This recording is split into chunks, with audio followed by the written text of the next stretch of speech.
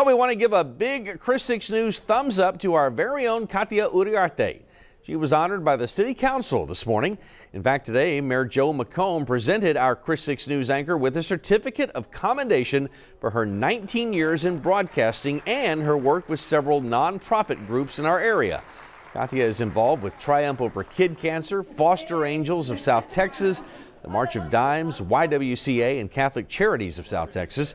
Mayor McComb congratulated Katia on her move to Chris Communications and thanked her for her endless commitment to the city of Corpus Christi. There you go, the whole evening crew right there with Katia.